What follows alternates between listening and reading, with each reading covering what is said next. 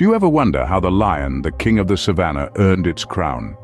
Today we unravel this majestic creature's evolutionary tale.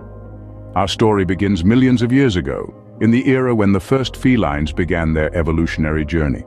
The lion belongs to the Panthera genus, sharing its lineage with other magnificent creatures like tigers, leopards, and jaguars.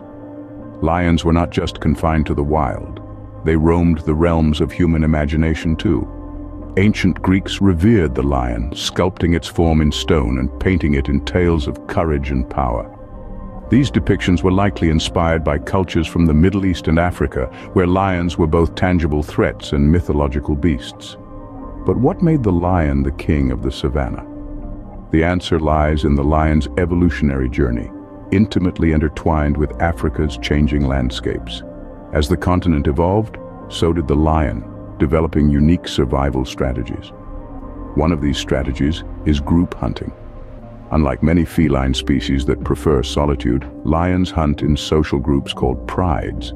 This allows them to target larger prey and execute more coordinated attacks. Another fascinating aspect of lion society is the division of roles. Within each pride, females often take the lead in hunting, while males step in for larger hunts and provide protection to the group. This division of labor has proved to be a successful survival strategy. Lions also employ the art of stalking and ambushing.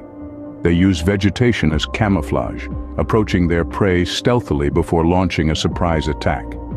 This method is particularly effective in the open plains where tall grass offers a natural cover.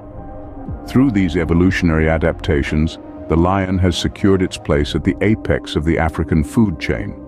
From their early days as clumsy cubs to their reign as leaders of the pride, each lion's life is a captivating saga. In summary, the lion's journey through time is a tale of survival and adaptation. Their evolutionary path has been shaped by changing landscapes, the development of unique hunting strategies, and a complex social structure that has allowed them to thrive in the wilds of Africa.